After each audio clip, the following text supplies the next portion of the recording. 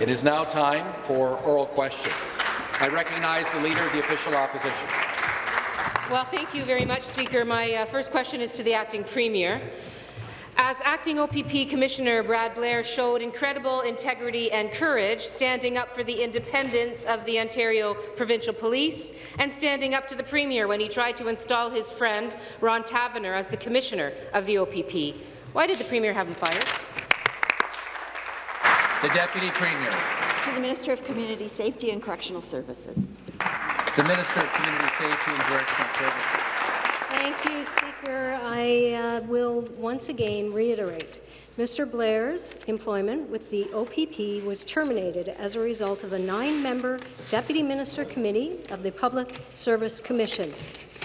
To be clear, that recommendation to terminate his employment was in consultation with the Commissioner Gary Couture.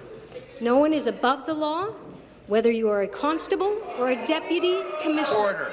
You swear an oath, Speaker, to uphold the laws of our province. Position Mr. come to order. Blair breached his duties as both a police officer and a public service.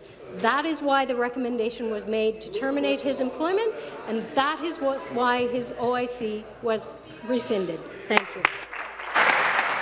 Supplementary. Speaker, for months the Premier and the ministers forced to defend his actions insisted that hiring the Premier's oldest friend as Commissioner was a coincidence yep. and that buying off an off-the-books van with a reclining leather couch was a cost-saving measure. Now they want to attack a dedicated career officer who had the courage to blow the whistle on this government. Why should anyone believe that this is anything but the Premier trying to settle the score? Minister.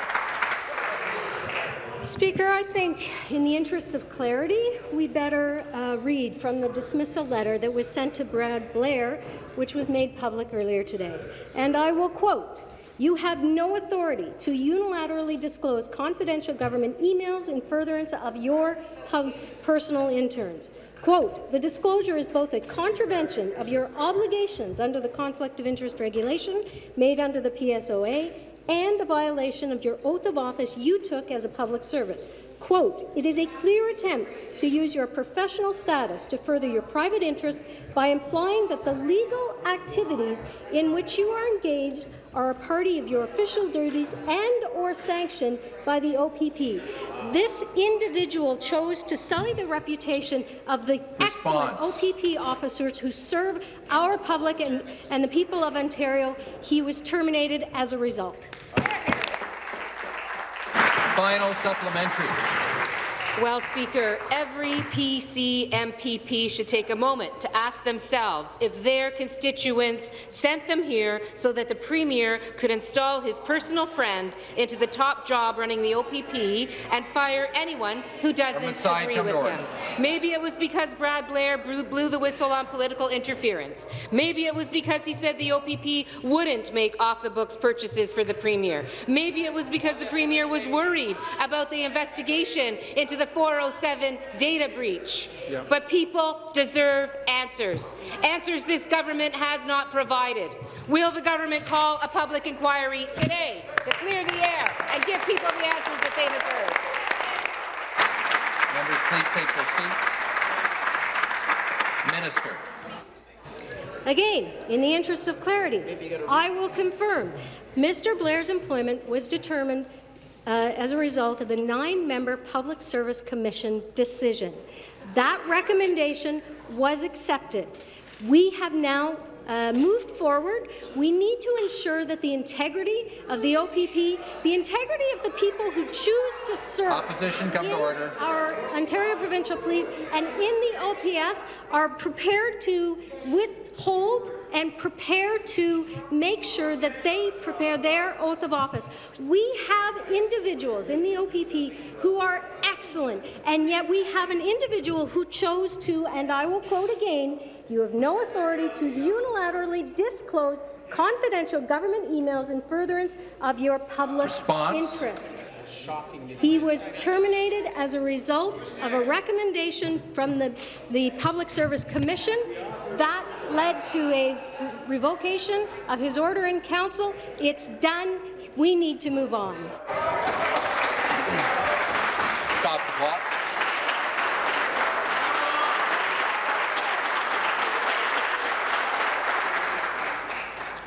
Restart the clock. Next question, the Leader of the Opposition. Thank you, Speaker. My next question is also to the acting premier. I think it's shocking that the minister says it's done, nothing to see here. This thing reeks, it reeks like a stinking mess, and this government needs to clean it up, Speaker. They need to clean it up. The OPP says that the acting commissioner, Brad Blair, was fired on the orders of Mario Di Tommaso, Ron Taverner's former colleague and the man who changed the OPP commissioner job description in order to lower the bar so that Ron Taverner could qualify to apply. But yesterday, the Minister of side, Community and Safety uh, claimed that the decision was made by the Public Service Commission in consultation with the OPP independently. Whose version is accurate, Speaker? The minister's or the Ontario Pol- Provincial Police's? To the Deputy Premier. Minister of Community Safety and Correctional Services. Minister of Community Safety and Correctional Services.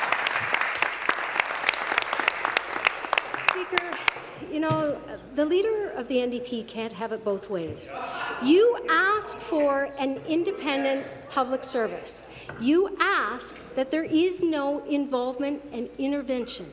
And yet, when I explain the process, when I talk about the Ontario Public Service, the commission that made the decision to terminate Mr. Blair's employment with the Ontario Public Service and the OPP, you are suggesting that in some way we now need to get involved. I vehemently disagree. I support the Ontario Public Service. I support the recommendation, and I am happy to endorse their retirement. Members, please take seats. Supplementary. Well, Speaker, I dare say the minister and her premier better figure out whether this was a political, political appointment or it wasn't. They can't have it both ways, Speaker. Yesterday, the Minister of Community Safety and Correctional Services said that her Deputy Minister Ron Taverner's friend, Mario Di Tommaso, recommended the termination of Brad Blair, and the minister claimed she didn't ask why Mario Di Tommaso was doing this. Supposedly, he didn't give her his reasons for wanting to fire Brad Blair, but she approved the decision anyway. Why would the minister approve terminating an OPP deputy commissioner without seeking any explanation or rationale for the decision? Minister. that you don't understand how government works. Speaker, in the interest of clarity, again, I will read from the dismissal le uh, letter given to Mr. Blair. Quote, you have no authority to unilaterally disclose confidential government emails in furtherance of your personal interest. Quote, the disclosure Opposition, is both come to a order. contravention of your obligations under the conflict of interest regulation made under the PSOA and a violation of the oath of office you took as a public service. Quote, it is a clear attempt to use your professional status to further your private interest by implying that the legal activities in which you are engaged are a party of your official duties and or sanctioned by the OPP. Quote, this is also a contravention of your obligations under the conflict Response. of interest regulation. Quote, you have acted in a manner that is incompatible with the faithful discharge of your position as a public service. Enough said.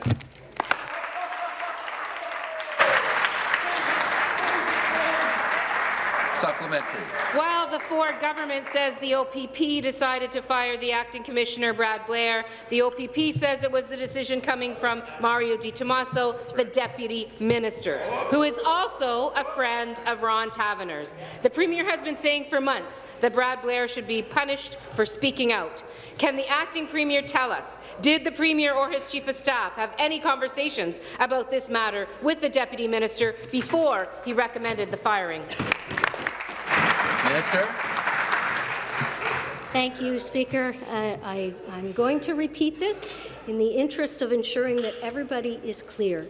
No one is above the law, whether you are a constable or a deputy commissioner. You swear an oath to uphold the laws of this province. Mr. Blair's employment was terminated as a result of the Public Service Commission nine-member committee. This action was taken in consultation with the OPP Commissioner Couture.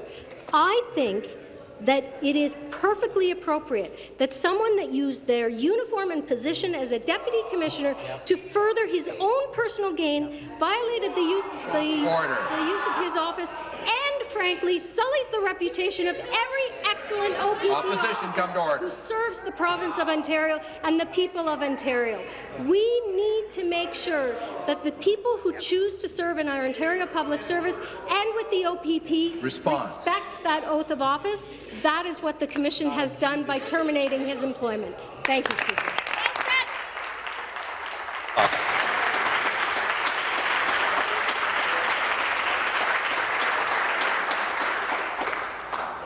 Start the clock. Next question, the Leader of the Opposition. Thank you, Speaker. My next question is to the Acting Premier. The Deputy OPP Commissioner was ultimately terminated through an order in Council, an order in Council that was signed by the Minister of Community Safety and Correctional Services.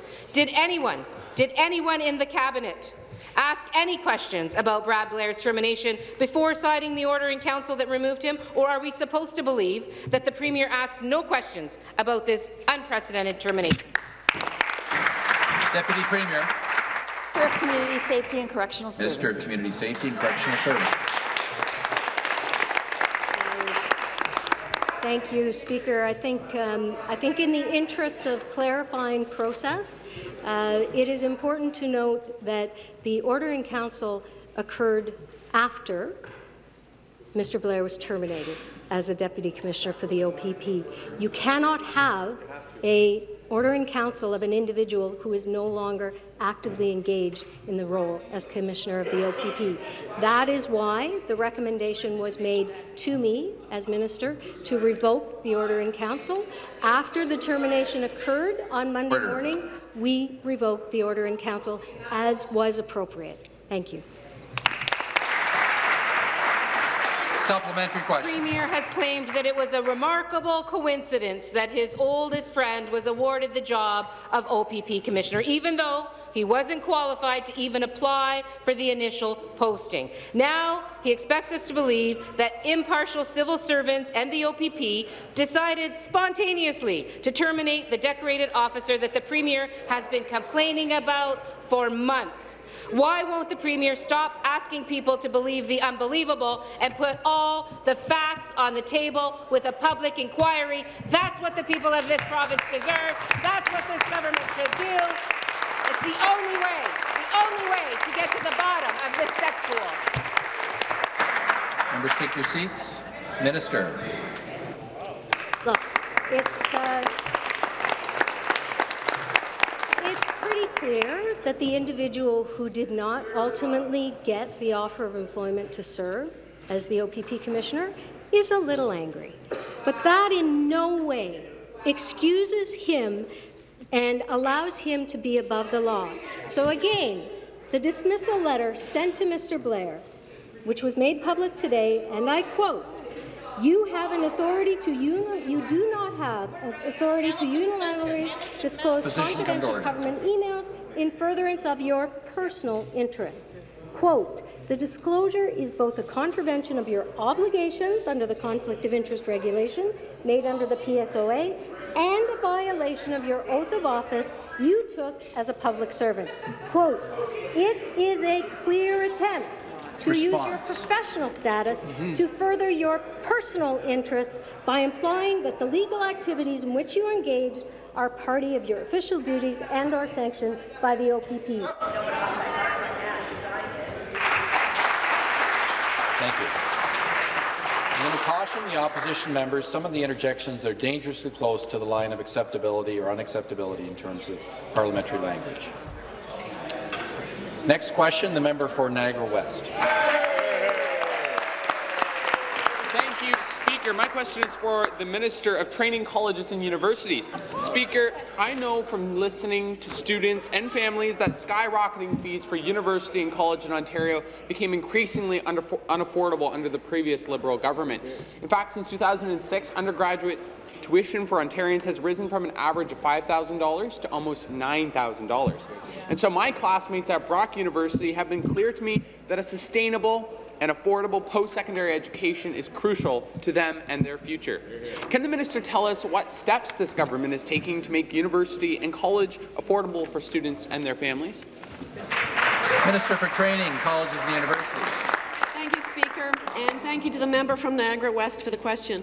Speaker, for years, student groups and even the opposition have been calling for tuition relief from unsustainable student fees, tuition fees. Yep. And our government is taking unprecedented steps to provide tuition fee relief. And for the first time in Ontario's history, we will be reducing tuition fees across the board by 10 percent. And Speaker, the NDP is more concerned about the ability of institutions to handle a 3% reduction in funding. We are focused on delivering a total of $450 million in tuition relief to students and their families. In addition to this historic reduction, we are creating a student choice initiative. This initiative will allow students to choose whether or not to support optional fees so they can find additional savings. Response. Speaker, our government is putting students first by making post-secondary education more affordable and putting more money back in their pockets. Thank you, Speaker. Thank you. Supplementary.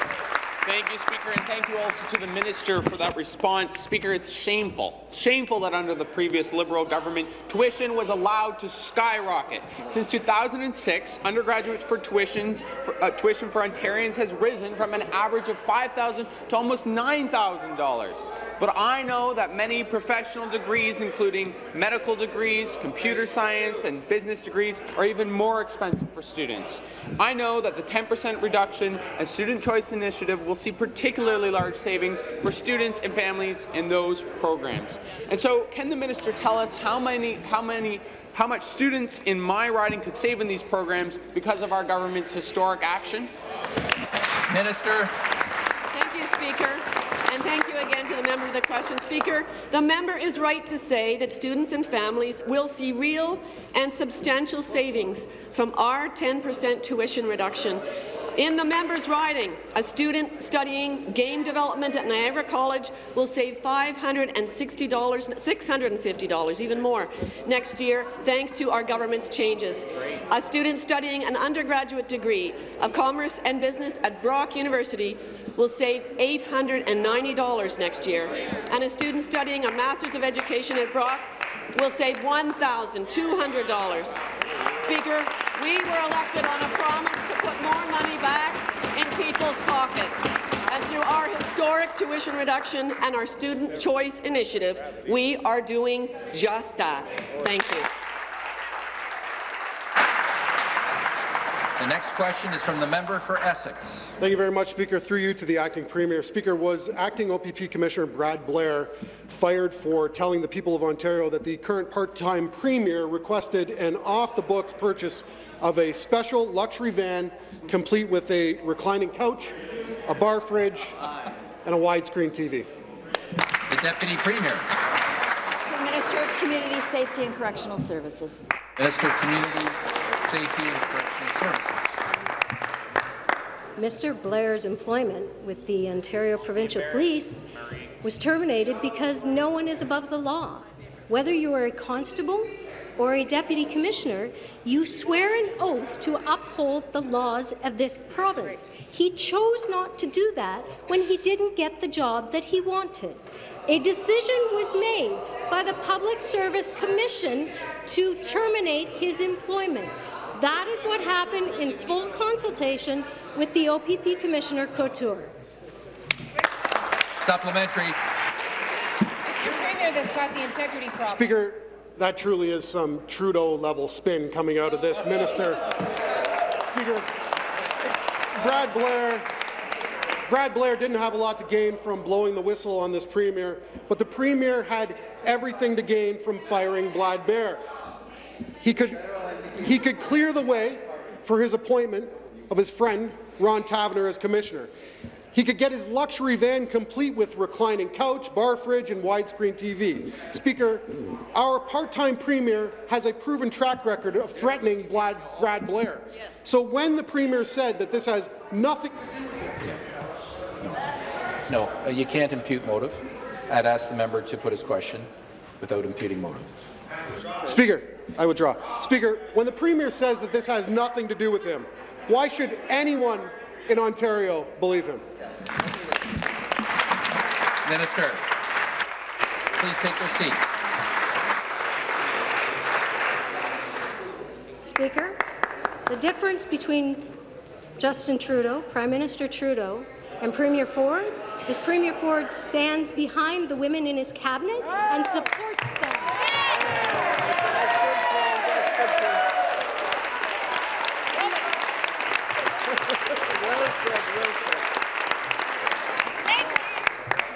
Again, I will quote from the dismissal letter sent to Brad Blair, which he made public yesterday. Quote, you have no authority to unilaterally disclose confidential government emails in furtherance of your personal interests. Quote, the disclosure is both a contravention of your obligations under the Conflict of Interest Regulation made under the PSOA and a violation of the oath of office you took as a public servant. Quote, it is a clear attempt Response. to use your professional status to further your private interests by implying that the legal activities in which you are engaged are party to your official duties and are sanctioned by the OPP, which they were not clearly. Thank you.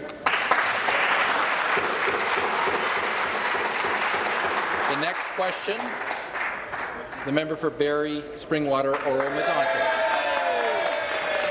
you, Mr. Speaker. Thank you. My question is for the Minister of Natural Resources and Forestry. Mr. Speaker, our PC government was elected on a promise to make life easier for the people of Ontario. For 15 years, the Liberal Party, with the support of the NDP, nickeled and dimed Ontarians. They were more concerned with finding ways to raise taxes than with how to make life more affordable. Under the leadership of our Premier, it's a new day in Ontario. Mr. Speaker, Minister of Natural Resources and Forestry has been hard at work to make hunting and angling more affordable for the people of my riding. After the Liberals ignored them for 15 years, recently the minister announced that hunting and fishing license fees would be frozen. Mr. Speaker, my question for the minister is, how much of the money will this initiative put back in the pockets of the folks in Barrie, Springwater, Oro-Medonte who fish in Lake Simcoe and Orr Lake? Minister of Natural Resources and Forestry. Well, thank you, Speaker, and I want to thank the member from Barrie Springwater, Oro-Medonte, for the question and his great service to his riding. We're making life easier for hunters and fishers by putting more money back into their pockets. These are great sports enjoyed by people all across Ontario.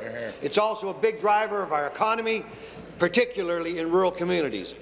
With our PC government, Ontario is finally open for business and open for jobs. Cancelling the Liberals' previously approved fee increases of two, two, $2 of service fee increases, plus the license fee increase themselves, will make hunting and fishing more accessible to people all across Ontario so they can contribute to their local economy by spending more money on the things that matter to them. Perhaps more money at the bait shop. Perhaps more money at the tackle shop. Speaker, I'm pleased to inform the member that this initiative will put $4.3 million not into the government's pockets, but back into the people, pockets of the people of Ontario. Here, Supplementary. Thank you, Mr. Speaker, and thank you to the minister for that answer. I'm always glad to hear how committed the minister is to making life easier for hunters and anglers by putting more money in their pockets. It's unfortunate. It's unfortunate that the NDP decided to support the Liberals for 15 years while the cost of day-to-day life became more than Ontarians could bear. However, it's clear the Minister of Natural Resources and Forestry and our government have the right priorities for the people of Ontario with common sense initiatives like this. Mr. Speaker, I know the decision to exempt veterans and active Canadian Armed Force members who enjoy recreational fish fishing from needing a fishing licence was also very well received by my constituents, including my friend Aaron Gard. Ontario is finally on the right track, Mr. Speaker. Can the minister elaborate on the significance of hunting and fishing for Ontario's economy? Minister. Speaker, I want to thank the member again for supplementary, and we were very proud, very proud as the government for the people to exempt veterans and active servicemen from uh, service people from their fishing license fees. Ontario is recognized as a destination for both hunting and fishing, and the impact that it has on our tourism industry is significant. We have a bountiful uh, amount of natural resources, and we want people from everywhere to take advantage of that. Recreational fishing alone is a $2.2 billion industry here in the province of Ontario that contributes so much to the local economies, particularly in rural Ontario. Hunting is also over a $400 million business here in the province of Ontario. So when we can have people enjoying those uh, pursuits, those sports, particularly with their families, and we can reduce or eliminate additional costs to make them more accessible. That's what we do here in Ontario because this government Response. of the people wants to do the things that the people care about here, here in the province here. of Ontario. We need to stop the clock.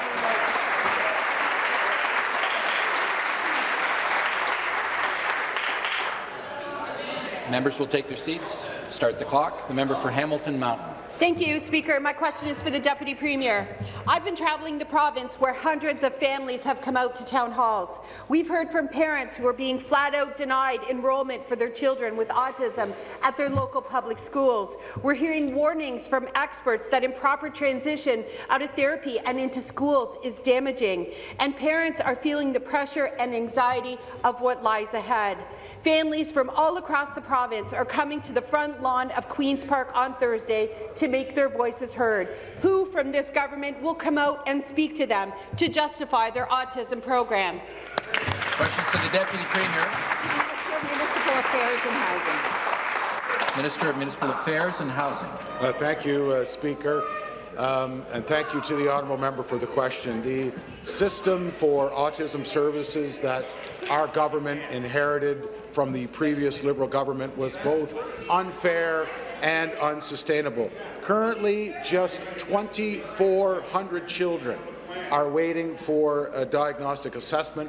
However, Speaker, more than 23,000 children are presently on the waiting list. Just 8,400 children uh, are receiving the Order. crucial help that they need, which means, Speaker, that three out of four children, and you know, I, I really wish the, the, the government or the opposition would understand that what's happening is three out of four are languishing on the wait list. Our government and our minister made a decision that we Response. didn't want that to happen, that we wanted to reform the system, and that's exactly what our government is going to do. Supplementary. Uh, Speaker, back to the Deputy Premier, who used to care about this file. Yesterday, Yesterday, Order. it was the member from Carleton giving parents false hope.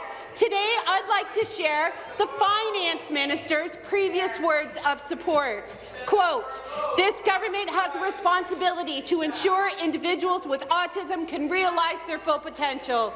Instead, after years of waste, scandal and mismanagement, the Premier is attempting to balance the budget on the backs of the most vulnerable.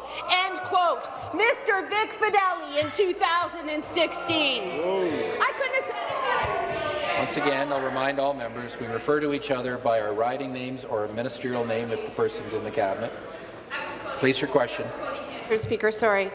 I couldn't have said it better myself, and I wonder if the minister still agrees with himself.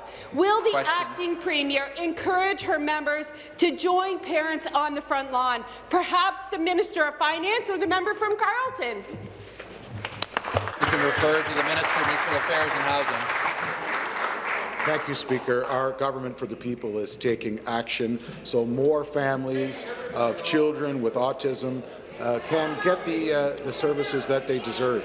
Over the next 18 months, over 23,000 families will move off the wait list and get the help that they deserve. You know, I, again, Speaker, our government inherited a system that was unfair and unsustainable. Our minister and the members of our government are committed to ensuring that over the next 18 months that we'll, Order. we will uh, clear that wait list. Our government's plan is built out of compassion. And, and we, we want to make sure that, again, uh, we, we are responsive to, to the needs of parents, but we can't have an unsustainable system where three out of four children languish Response? on the wait list. That's not fair. That wasn't a good system. We're going to change that, Speaker.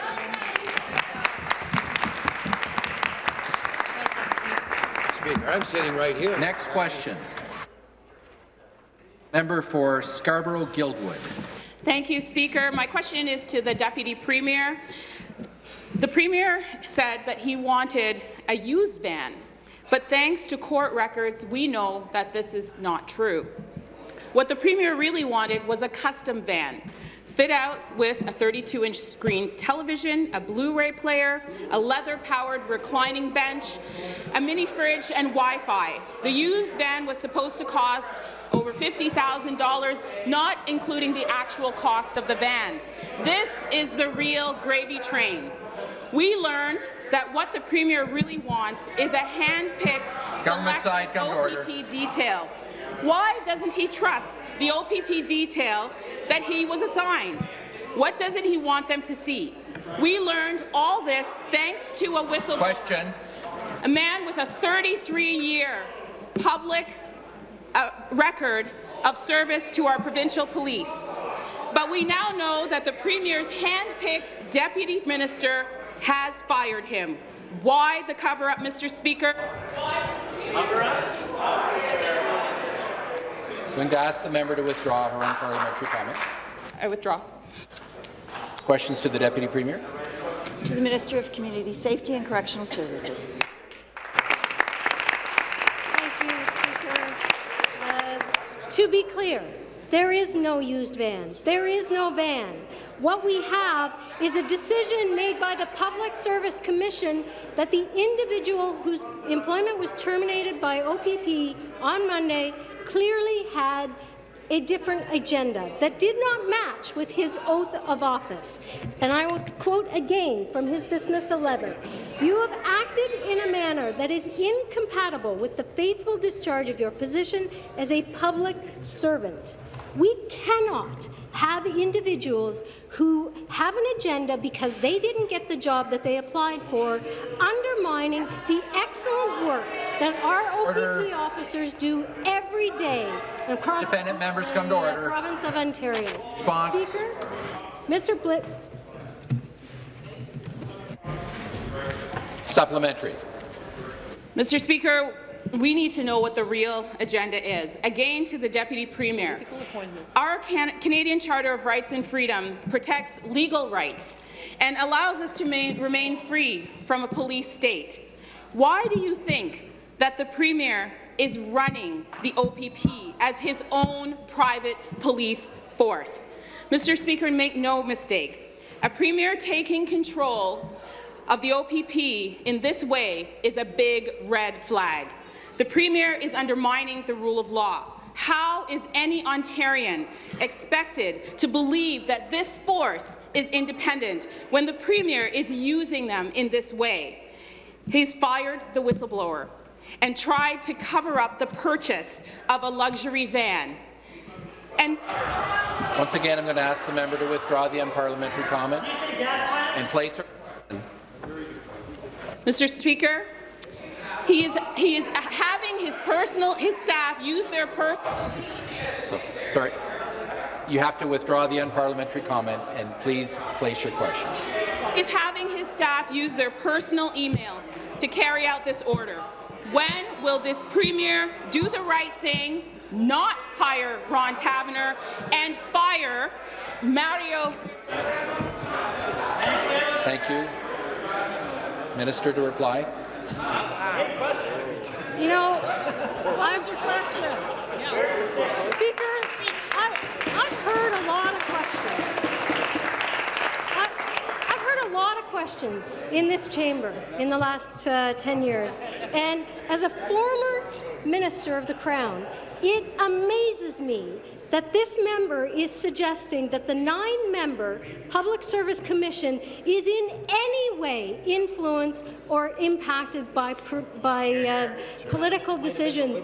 You know, to be clear, the Commission made a decision the Commission made a decision, Speaker, to terminate Mr. Blair's employment with the OPP as a result of him no longer being a member of the OPP because, quote, you have acted in a manner that is incompatible with the faithful discharge of your position as a public servant. Response? His order in council was rescinded. This is an individual who is using his office as a deputy commissioner in the OPP for personal gain and a personal agenda because he didn't get the job. Thank you. Next question, the member for Mississauga Centre. Thank you, Mr. Speaker. My question is for the Attorney General. Mr. Speaker, on this side of the House, we respect the work done by the police officers. We know that they are everyday heroes and they protect our communities. Last month, Last month, the Minister of Community Safety and Correctional Services uh, tabled a very important bill, Bill 68, uh, to uh, change the uh, police officers' roles. We work with other partners of public safety uh, to correct Bill 175 from the Liberal government which is the most anti-police bill that we've known in Ontario. Our police officers deserve our respect. Our government wants to protect our officers, and it is an absolute priority. The Attorney General, could she tell us what our officers are telling us ab about the changes tabled by our government?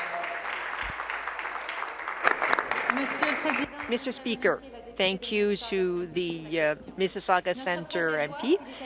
If our bill is uh, carried, it will offer clarity and transparency to officers, to police chiefs, and to the population of Ontario. It would concentrate uh, investigation resources where we need them to help our communities. Bruce Chapman, chief of the association in Ontario, said that his members are very happy of this bill. And I cite him. The uh, members in uniform need adequate uh, resources to protect our communities. We repeated our support to a, an efficient system based on transparency and responsibility to restore the public trust. Mr. Speaker, our government is determined uh, to keep safety in our communities and to give our police officers uh, the tools they need to accomplish uh, their very important work. Supplementary. Thank you, Madam uh, Minister. I'm happy to hear that our government listened to the officers' concerns. I believe that this new bill is uh, stable, respectful, and equitable. I know that the first-line officers in my community in Mississauga and everywhere in Ontario will be happy about these changes. The changes uh, uh, tabled by Bill 68 will make sure uh, that we uh, respect our officers and our citizens. On this side of the House, we know that the women and the men in uniform are, have high training and they risk everything for our safety. Will the Attorney, Attorney General tell us how the changes uh, to uh, the uh, Special Units Investigation Unit will improve the lives of our officers? Mr. Speaker, our government knows that women and men in uniforms are everyday heroes to offer clarity and transparency to the population and the officers, we would clarify the SIU mandate. If it's uh, carried, this bill uh, would concentrate its resources on criminal activities within police oversight, which is transparent and efficient. Uh, the bill would make it clear for every case where there's an obligation where, let's say, detention, use of force, and uh, in uh, when there is a person who's deceased or greatly harmed, or when there's a sexual assault. This bill meets the needs of all of Tulloch Judge, Judge Tulloch's recommendations. Thank you. Next question, member for Brampton North. Thank you, Mr. Speaker. My question is to the Minister of Community Safety and Correctional Services. Over the weekend, over the weekend, there was a violent incident at the Toronto South Detention Centre that resulted in eight correctional staff being injured. Two were sent to hospital. Yesterday, staff withdrew all non-essential services in reaction to the violence. Minister, There has been a crisis in corrections for a long time. The last Liberal government did nothing about it. What actions are this government going to take to fix the corrections, the crisis in corrections? Minister of Community Safety and Correctional Services. Thank you for the question, and uh, it was a very serious incident on the weekend. And I think we really need to appreciate, as legislators, uh, what legislation, policies, uh, how they impact people on the front line. You know, we, we often talk in this chamber about very lofty ideas about how we want to make society better, but now we need to make sure that those, those changes that we make don't actually actually impact or, frankly, hurt the individuals who are working in our institution, the people who visit our institutions, and the people who are serving in our institutions. Uh, we are actively engaged in those uh, discussions right now. We've already made some, some changes that uh, have been a positive Response. impact. But this is not an easy ship to move. Uh, there are a lot of moving parts when you're talking about corrections and the impact that the Justice File have. That is, frankly, why the Ministry, uh, Attorney General and myself worked uh, together to make sure that changes that happen. Thank you. Thank you. The supplementary question. Thank you, Mr. Speaker. Back to the minister. What attorney general? Howard Sapers, in his report on the state of Ontario correctional system, called the Toronto South Detention Centre the most violent correctional facility in the province. The problems aren't mysterious. Safers was clear. The shifts where the most violence occurred were the shifts where they were understaffed. Instead of hiring casual, part-time, on-call staff to fill vacancies left by full-time correctional staff, will the minister commit today to hiring full-time correctional staff at the levels needed to effectively manage our troubled correctional facilities. Minister. Members, please take their seats. Minister to reply.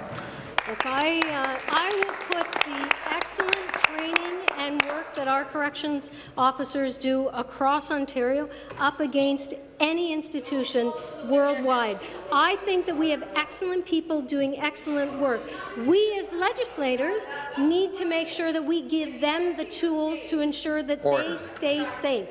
This is about a system that Opposition includes the Attorney General, a system that includes the Ministry of Health, a system that includes all of us as legislators to make sure the changes that we make actually improve the system, give the corrections officers the tools they need to stay safe, but there is no one who is more proud Opposition of the come to order. Member for Niagara Falls come to order. Ontario than our government. Thank you.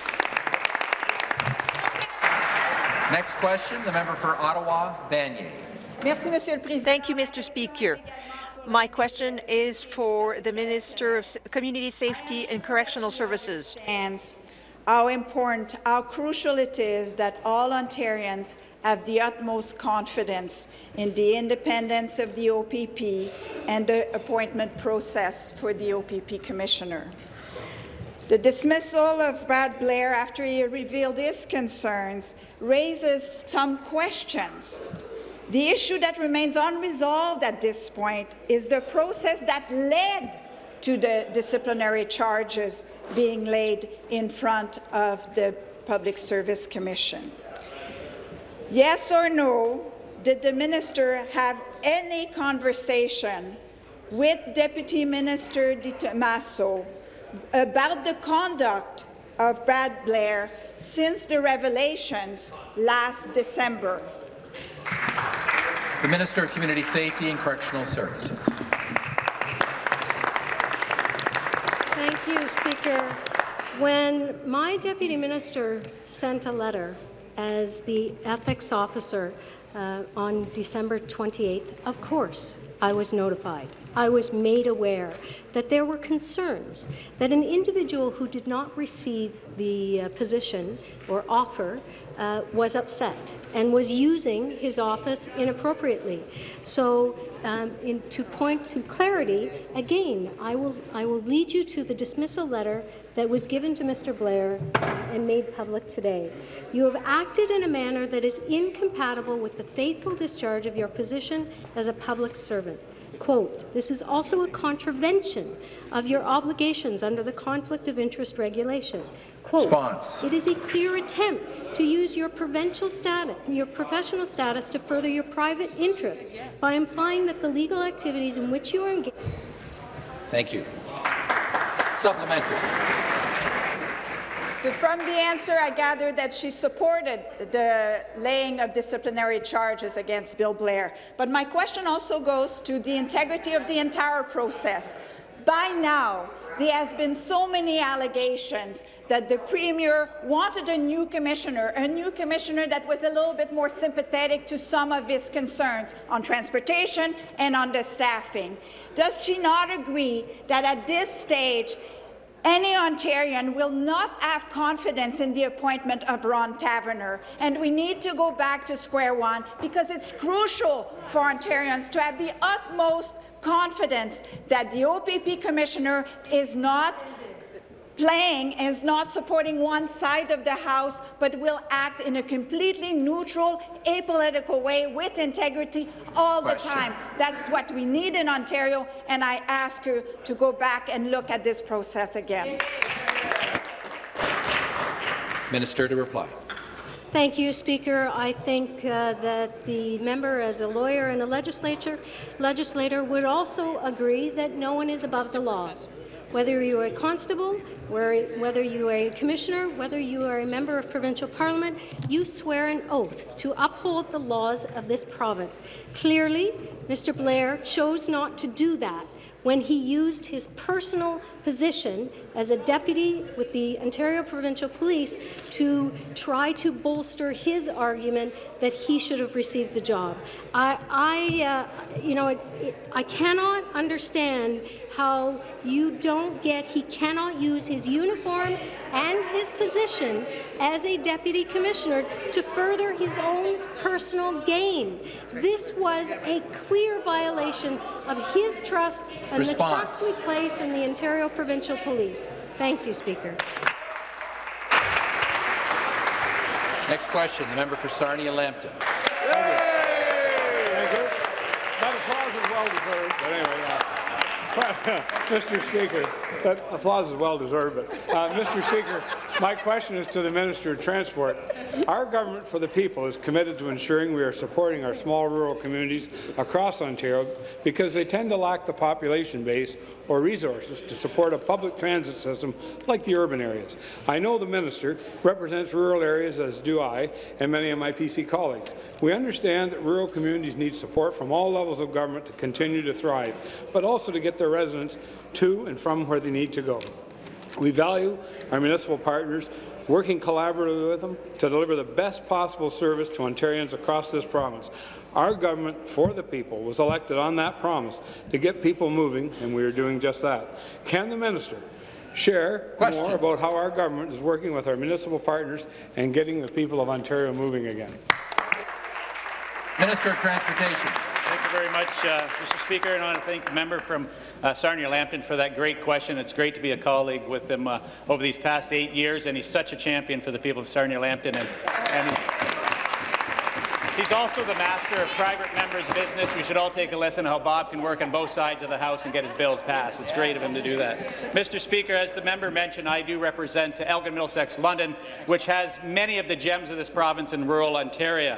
Our government for the people is committed to continuing to work with and support municipalities and rural communities across the province. That's why I was pleased to announce just recently our government for the people's support of the transit projects across smaller communities across this province through the Community Transportation Grant Program. This program is making life better for people throughout rural and northern Ontario because they have access to fewer public transportation options. Mr. Speaker, I will speak more of this in the supplementary. Supplementary question. Thank you, uh, Speaker, and through you and to you, thank you to the member uh, for that answer and for his ongoing support of smaller communities and municipalities. It's great to hear that our government for the people is yet again working with municipalities to support those programs that help Ontarians stay connected in their communities. The previous government, propped up by the NDP, had 15 years to find a solution on, on this province and transit and failed. The only thing the Liberals and NCC Order. seemed to be good at was racking up a $15 billion deficit. The people of Ontario uh, especially those in rural Ontario, cannot afford the delays in financial mismanagement of the previous government. I know my community of Sarnia-Lambton was thrilled to hear about the announcement of the Community Transportation Grant Program. Can this minister please share more about this great program? Yeah. Minister. Thanks again for that question, Mr. Speaker. Our Government for the People is working with smaller community support programs that will help Ontarians. One, stay connected with their communities, access employment and social programs, attend appointments, visit friends and families, and maintain an independent and active lifestyle. Over five years, the program will provide $30 million to 39 municipalities. Municipalities will use this provincial funding to partner with community organizations to coordinate local transportation services. This is yet another example of our government for the people keeping its promise to get Ontario moving. Since the inception of the program, more than 28,000 people have used new services to make more than 105,000 trips. Our government of the people is committed to getting the people of Ontario moving, and we are just doing that across the province, which is more than the previous government, supported by the NDP, did over their 15 years in office. Mr. Speaker, we're proud of our work so far in the transportation file. We're proud of working with rural and northern Ontario, and we're going to keep on doing this over the next four years. Next question, the member for University Rosedale. Thank you, Speaker. My question is to the Minister of Transportation. York Region and GO buses used to travel to the centre of York University, but now these buses drop people off at a TTC subway stop up to three kilometres away. Thousands of students and workers now must make an unfair and costly choice. Pay another fare to ride just one or two subway stops or walk up to three kilometres in the cold. And this is hurting people like Bonnie Cormier from Whitby. Bonnie's commute has increased by up to 40 minutes a day and she has to pay extra for worse service. She also has to pay extra for childcare because she now has to drop her 14-month-old off early and picking up, uh, pick him up late because of his, her longer commute. Minister, when are you going to show leadership and bring back the buses to York University? Minister of Transportation. Uh, thank you very much, Mr. Speaker, and, and thank you for that question. And uh, uh, we do take uh, issues that you have raised, like Bonnie's, uh, quite seriously. But uh, just to be crystal clear to this House, uh, York University are the ones that requested GO buses be removed from their campus. Uh, we uh, did so after their direction. Mr. Speaker, only after Metrolinx advocated on behalf of students and computers did York University agree for the buses to come back until the end of January, but they are now left.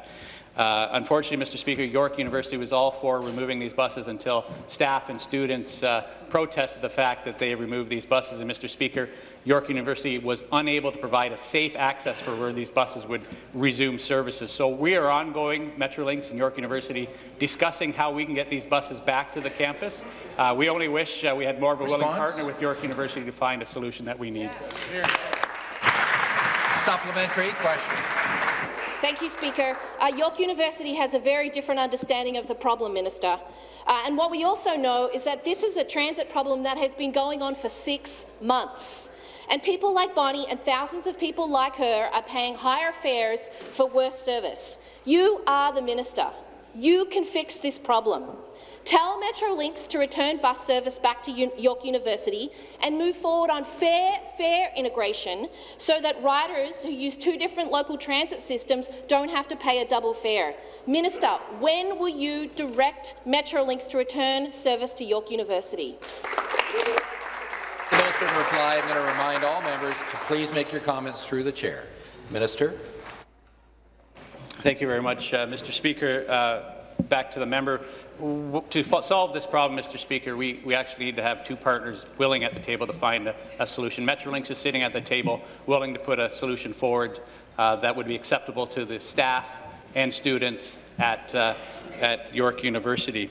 Uh, asking buses to come back to the campus but not on the bus loop doesn't make any sense as there are no other safe alternatives for the students and staff to get off, Mr. Speaker. We're willing to sit down and work with this. I, I would hope the NDP isn't using this as an opportunity to politicize a situation which can be solved at the table, and uh, we're looking forward to Metrolinx to continue working with York University to find a solution. We want to find a solution to this problem, Mr. Speaker. It, it, we will find a solution to this, Mr. Speaker. We just need York University to sit down uh, and, and, work with Metrolinx on that solution, and it's going to happen uh, as long as York University is willing to work with this government. Thank you, Mr. Speaker. Thank you. Next question, the member for King Vaughan. Thank you, Speaker. My question is to the Minister of Environment, Conservation and Parks. Last evening, the Prime Minister held a rally to promote his government's intention of placing a carbon tax on families, on workers and on seniors of this province. The Trudeau carbon tax will place a burden on the people of Ontario, costing up to $1,000 per household and as high as $5,000 in the future. Yet the Prime Minister claims that this tax will put more money back into the pockets of Ontarians. Speaker, I do not trust any politician that promises a tax hike will ultimately lead to tax savings. to our Prime Minister, stop offending the intelligence of Canadians. We do not trust your government. We have lost confidence in this government, and we believe Canadians, including former members of your own cabinet, demand greater transparency from this government. So to the Minister, can you outline the true cost and economic consequence of the Trudeau carbon tax? Good question. Minister of the Environment, Conservation and Parks.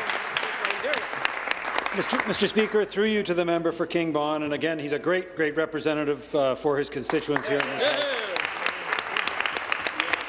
Mr. Speaker, I, I, do understand that the Prime Minister received a bit of a mixed reaction last night, even among a partisan crowd.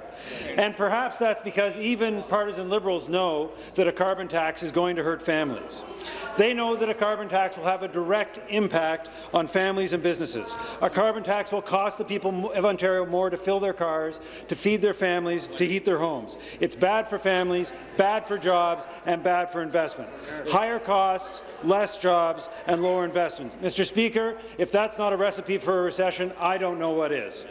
If the Trudeau Liberals are interested in a plan, then they can take a good look at ours, see that how we will meet the targets they set, the Paris targets, but not do it Response. without a job-killing recessive carbon tax. Mr. Speaker, we stand with the people of Ontario and we use all the tools at our disposal to fight the Trudeau carbon tax and to protect families. Thank you. Supplementary. Thank you, Speaker. Back to the minister, and I appreciate he's made clear that this government intends to fight climate change without placing an expensive tax on the people of this province. Our party is proud to have a strong record of advancing conservation here in Ontario. The party that created and protected the Oak Ridges Moraine. The party that expanded park space in Ontario by the single largest amount by the Living Lands program. The party that initiated the first closure of a coal-fired gas plant in this province. We did all of this without imposing higher taxes on seniors, on families, and the future prosperity of this province. Speaker, while middle-class families will pay the price, the Prime Minister cut a special carbon tax side deal with Canada's largest emitters that mean that they will continue to pollute for free while families and small businesses get hit with the full force of this tax. Minister, what are the next steps you're taking Question. to fight this tax while making sure we protect our environment for the next generation? Minister. Mr. Speaker, and again, thank you to the member for his question. Our government is committed to reducing greenhouse gases. That's why we brought forward our Made in Ontario Environment Plan that will work with Ontarians to have a balance of a healthy economy and a healthy environment. Mr. Speaker, we've already brought forward some key pieces of this, uh, of this plan for, uh, for consultation. Mr. Speaker, we have brought forward our, our plans to increase the uh, increase renewable content in gasoline to 15 percent in order to reduce emissions. As I mentioned last week, we've brought forward our plans to have big polluters pay, to make sure that there are emission standards that are tough but fair on polluters. And, Mr. Speaker, as I've also mentioned in this House, I will be bringing forward our plan on waste, a plan that will reduce organics going into landfills, which will reduce harmful methane, which is also a dangerous greenhouse gas. Response. Mr. Speaker, this province deserves a plan that balances a healthy economy with a healthy environment. That's the plan we're bringing forward, and we're bringing it forward without a carbon tax. Stop the clock.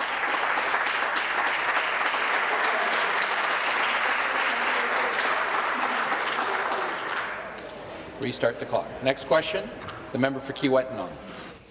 Miigwech, uh, Speaker. Uh, the question is to the Deputy Premier. It's been uh, three years since the Chief of Grassy Narrows First Nation called for an investigation into the mercury poisoning uh, of the soil in the river. A retired uh, mill worker in Dryden said uh, he helped dump 50 barrels of salt and mercury behind the mill in 1972, and he had identified a spot. The government's own environmental experts uh, recommended the cleanup uh, in the area over a year ago.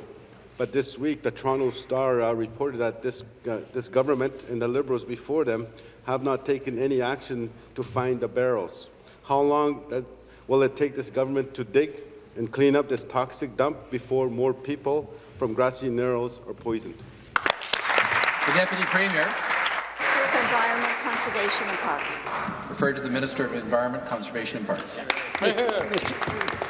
Mr. Mr. Speaker, through you to the member, and I, I, do thank him for the question, our government is committed to the health and safety of all of our communities. Mercury contamination in the English and Wabigoon rivers has profound impact on the communities and has to be properly addressed. We're committed to continuing to address this issue with the communities involved. As the member knows, there's a tripartite group, including the Win First Nation and the Grassy Narrows First Nation, and we're working collaboratively with that group. Mr. Speaker, I visited Grassy Narrows and, and Chief Turtle in October of, uh, of last year in, in Grassy Narrows. We made it clear that once we had the science, we would meet with them further, and that science was concluded in December. The results of that have now been communicated to the working group, which includes all three First Nations, and uh, on February 7th, I sent a letter to Chief Turtle in this regard. We'll continue to work with the Grassy Narrows uh, First Nations Band, also with the Win First Nations Band, to ensure that this issue is addressed. Supplementary. The children, the youth, elders of uh, Grassy Narrows First Nation live downstream from the Dryden Mill and eat fish from the Wabigoon River. If uh, poison was buried in Toronto, you can be sure that this government would act. Yes. After more than 200 days in uh, power, it is time for this government to take action to find the buried mercury upstream from Grassy Narrows, like they would for other communities in this province. Deputy Premier, why the double standard? when, when will Grassy Narrows have answers? The community is waiting.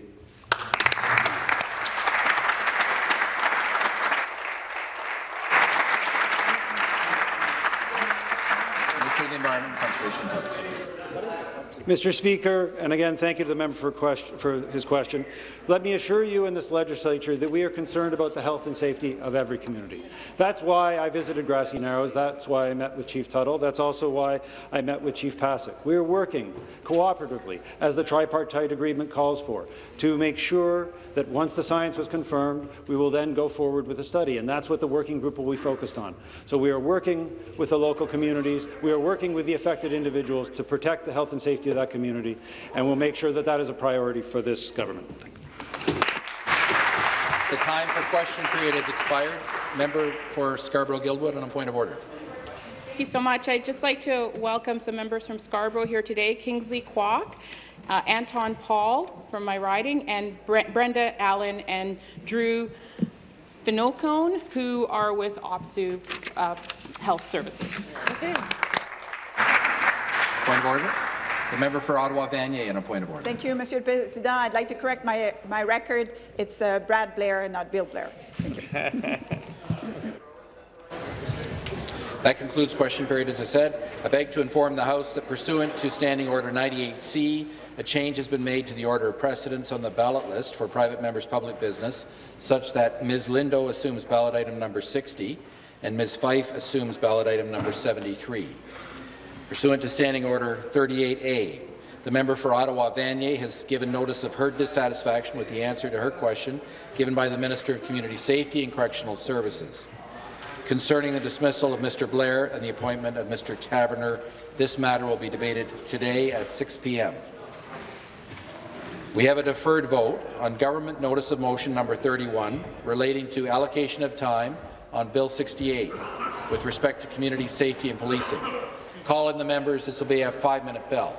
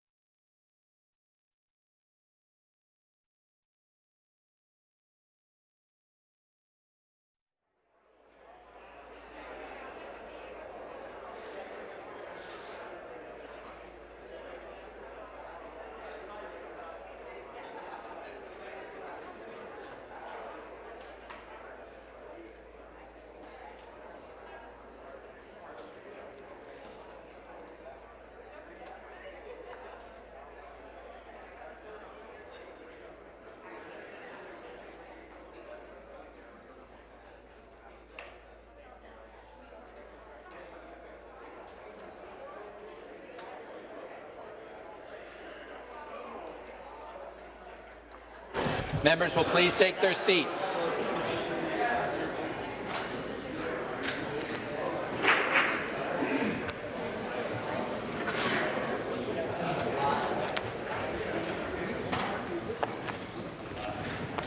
On March 4th, 2019, Ms. Thompson moved government notice of motion number 31 relating to allocation of time on Bill 68. All those in favour of the motion will please rise one at a time and be recognized by the clerk. Ms. Thompson. Ms. Thompson. Mr. Walker. Mr. Walker. Mr. Bethlenfalvy. Mr. Bethlenfalvy. Mr. Fedeli. Mr. Fedeli. Ms. Elliott. Ms. Elliott. Mr. Yurek. Mr. Yurek. Ms. Mulroney. Ms. Mulroney. Mr. Clark. Mr. Clark. Mr. Yakabuski. Mr. Yakabuski. Mr. Tibollo. Mr. Tibollo. Mr. Barrett. Mr. Barrett. Mr. Pettapiece. Mr. Pettapiece. Mrs. Martow. Mrs. Martow. Mr. Bailey. Mr. Bailey. Mr. McNutt. Mr. McNutt. Ms. Fullerton. Ms. Fullerton. Ms. Scott. Ms. Scott. Ms. Jones. Ms. Jones. Mr. Cho Scarborough North. Mr. Cho Scarborough North. Mr. Phillips. Mr. Phillips. Mr. Lecce. Mr. Lecce. Mr. Coe. Mr. Coe. Mr. Downey. Mr. Downey. Mr. Cook. Mr. Cook. Mr. Calandra. Mr. Calandra. Ms. Surma. Ms. Surma. Mr. Parsons. Mr. Parsons. Ms. Skelly. Ms. Skelly. Mrs. Martin. Mrs. Martin. Ms. Triantafilopoulos. Triantafilopoulos. Mr. Sarkaria. Mr. Sarkaria. Mr. Oosterhoff. Mr. Oosterhoff.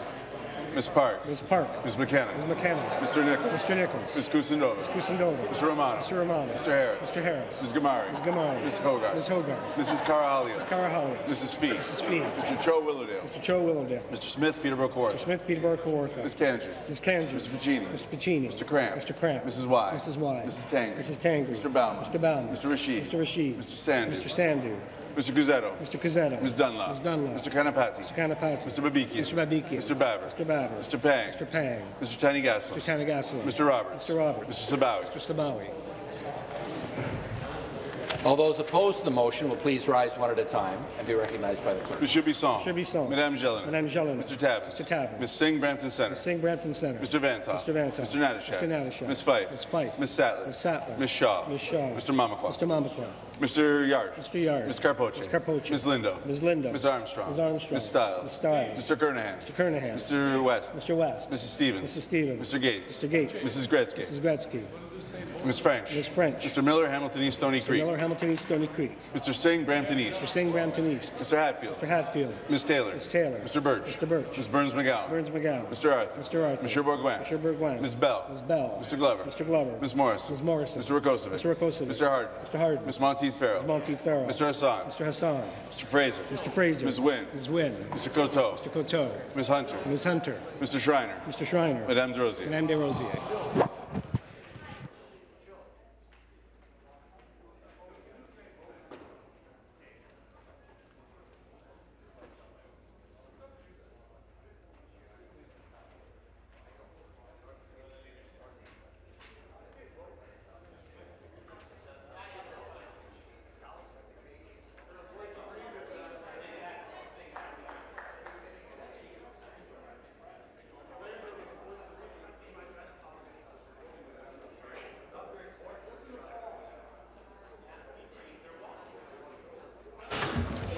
The ayes are 61, the nays are 42.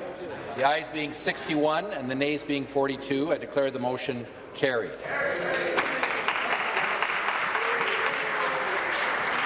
We now have a deferred vote on government notice of motion number 32 relating to allocation of time on Bill 66, an act to restore Ontario's competitiveness by amending or repealing certain acts. Call in the same vote. Same vote. Agreed. Agreed. The ayes are 61, the nays are 42. The ayes are 61, the nays are 42. I declare the motion carried.